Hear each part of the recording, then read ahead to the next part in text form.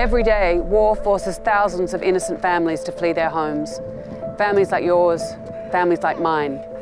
To escape violence, they leave everything behind. Everything except their dignity and a hope for a future.